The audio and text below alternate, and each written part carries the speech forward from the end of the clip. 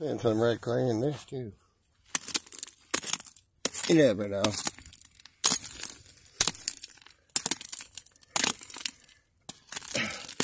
See it, red clay. Just never know what you find in it. That red clay is what you're gonna find something. You just need a backhoe, people. A backhoe. A lot of minerals here though.